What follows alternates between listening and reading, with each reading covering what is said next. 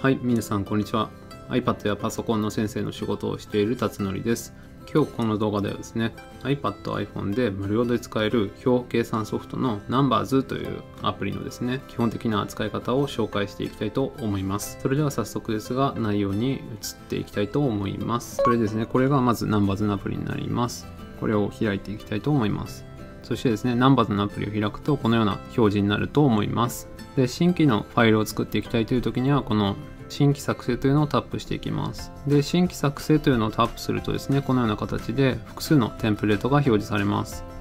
で、このナンバーズのテンプレートはですね、いろいろな種類がありますので、この中からまあ自分がこれから作っていきたい資料に近いような形のテンプレートを選んで選択してください。これでですね、今回のこの動画の解説にあたっては、すでにダウンロードしてある Excel のファイルを使っていきたいと思います。そしてですね、こちらがファイルを開いた画面となります。で、今回はその Excel で作ったファイルを開いています。というところでですね、この Numbers のアプリなんですけれども、Excel のファイルとも互換性があるので、その Excel で作ったデータとかをこのような形で Numbers のアプリで開くといったことも可能です。それではですね、まず基本的な使い方のところを紹介していきたいと思います。まず、このシート内に新規の表を追加してみたいと思います。で、新規の表を追加するのが、この画面右上のですね、プラスマークのアイコンになってまして、このアイコンを押すと、こんな感じで新規の表を同じシート内に追加することもできます。で、文字を入力したいというときは、そのセルをダブルタップするとですね、文字の入力を開始することができます。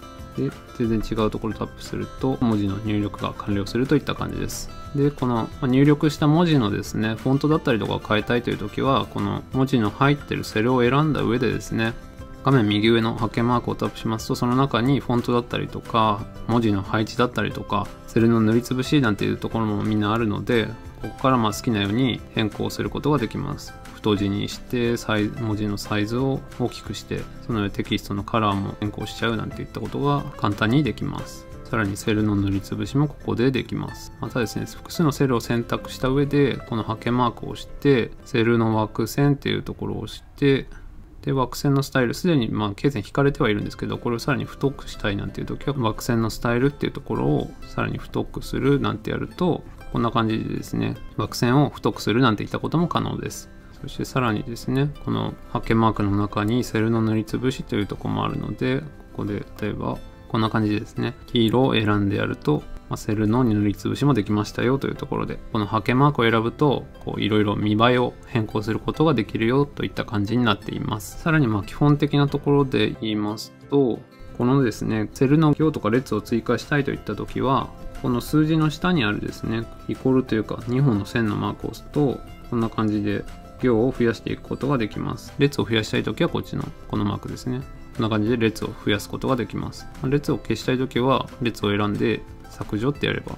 列を減らすことができます。そしてですね、一気に行とか列を増やしたいというときは、このハケマークを押していただいて、この行とかっていうところにですね、今13行あるよっていうところが出てるんですけど、こいつの数字をですね、例えば100行にしたいぞっていうときは、この100って打ってやるとですね、このような形で一気に100行まで行が増えたといった感じになります。そしてですね、表計算のアプリを使っているとですね、入力したデータから合計の値を求めたりとか、平均の値を求めたりすることも多くあるかと思います。ナンバーズでもですね、もちろんその計算する機能がついてまして、例えばですけど、ここにですね、県別の人口がたくさん書いてあるんですけど、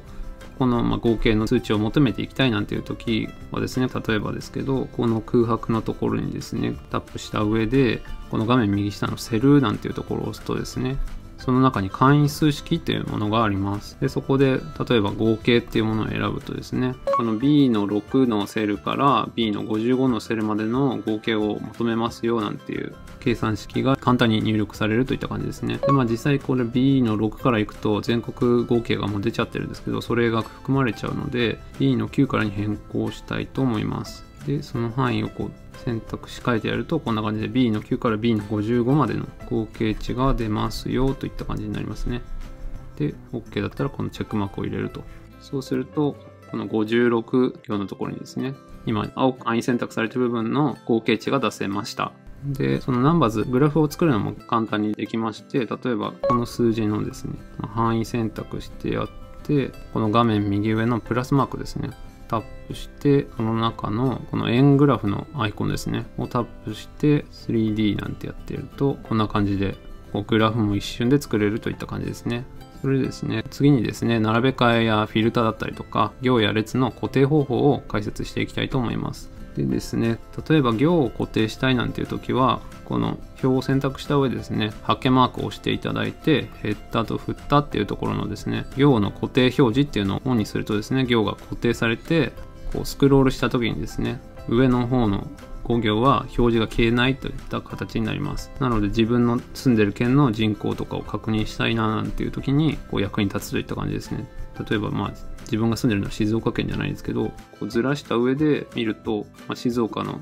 進行を確認しやすいなんていったメリットがあったりしますね。まあ、固定を解除したい時はヘッダーと振ったっていうところの行の固定表示っていうのをオフにすれば行の固定が解除されます。それでですね、フィルターを使いたい時はですね、そのフィルターをかけたい範囲を選択していただいた上で、この3本マークをタップしていただいて、フィルターを選んで、フィルターを追加というのを選びます。で、フィルターを追加というのを選ぶと、まあ、例えばこれ一番左の列ですかね。人口のところに、まあ、どんなフィルターをかけますかというところで、例えば数字っていうところで、このより大きい、数字が5000より大きいやつだけ表示しますってやると、こんな感じで、ここの列のですね、数字が5000より大きい件だけ残って表示されたといった感じになります。というところで、こんな感じでフィルターの機能を使うと、複数のデータの中からこう表示したい数字だけを選び出すといったことができたりします。そしてですね、シートを増やしていきたいという時は、このプラスマークを押していただくと、新規シートというところでどんどんシートを増やしていくことができます。で、まっさらなシートが作られていくといった感じですね。で、シートを選んだ上でですね、ダブルタップするとシートの名前を変更することもできます。そしてですね、このナンバーズのデータの保存方法なんですけど、このナンバーズのデータはですね、自動保存されているので、何かしら変更を加えるたびに自動でその変更が保存されていきます。というところで、作業したから保存ボタンを押さなきゃとかっていう心配はありません。また今回作ったこのデータなんですけど、例えばですけど、ナンバーズで表計算のデータを作ってたとして、それを Excel にしたいなんていうこともあると思います。そんな時はですね、この画面右上の3点リーダーのマークを押していただいて、この書き出しっていうところですね、を押していただくと、こう Excel っていうのがあるので、これで Excel を選択していただければ、Excel でデータを保存することができます。で、ファイルに保存とやっていただくと、データをまどこに保存しますかというところで、この iPad 内っていうところに保存ってやると、データが Excel 形式で保存されていきます。さらにまこの3点リーダーリーダーの中にですね、プリントだったりとか、共有というところがあるので、作ったデータを他の人に送りたいなんていう時はこの共有ボタンからデータをメールだったりとか AirDrop とかで送れますし印刷したい時はこのプリントというところを選んでください。それですねあとこの3点リーダーの中のこの Numbers Help というところをタップしていただくと Numbers のユーザーガイド取扱説明書も中に入ってるので、まあ、何かしらわからないことがあったらこのユーザーガイドというのも確認してみてくださいでまずユーザーガイドとか見てもよくわかんないよっていうことがありましたらいつでも気軽にこの動画のですねコメント欄の方にコメントというか質問いただければ私の方で回答していきたいと思いますのでよろしくお願いします。それではまた別の動画でお会いしましょう。バイバイ。